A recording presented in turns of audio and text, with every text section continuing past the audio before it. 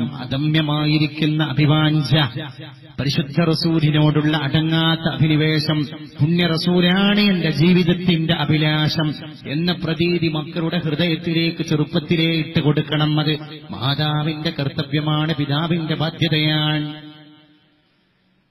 പിന്നെ പറഞ്ഞത് വബിഹുബ്ബി Ahli ബൈത്തിഹി. Ahli ബൈത്തിനെ സ്നേഹിക്കാൻ മക്കളെ പഠിപ്പിക്കണം. നമ്മുടെ കുടുംബങ്ങളെ പഠിപ്പിക്കണം. അഹ്ലിബൈത്തിനെ ബഹുമാനിക്കാൻ അത് രക്തബന്ധത്തിന്റെ പോരിശയാണ് നമ്മുടെ രക്തബന്ധത്തിന്റെ പരിശുദ്ധിയാണ്.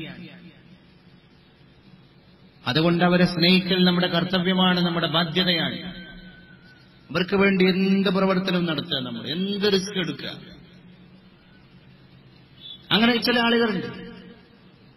അവരുടെ ജീവിതം തന്നെ അഹ്ലുബൈത്തിന് വേണ്ടിയാണ്.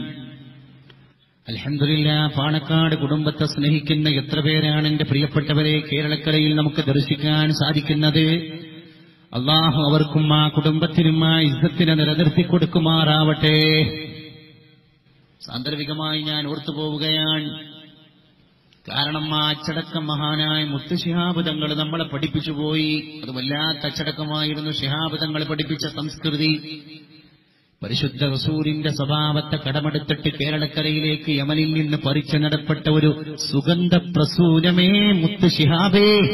അങ്ങേ ഞങ്ങൾ ഓർത്തു പോവുകയാണ് ആലോല നായക ആത്മീയ പൂങ്കവ ആദരർ മുത്ത് ശിഹാബെന്ന സാത്വിക.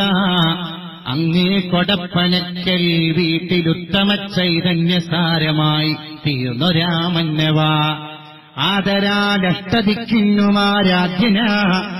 ആരംഭർ ത്വാഹ കുടുംബത്തിൻ ശ്രേഷ്ഠന. ബന്ധനങ്ങൾക്കു സമരി സമർപ്പിച്ച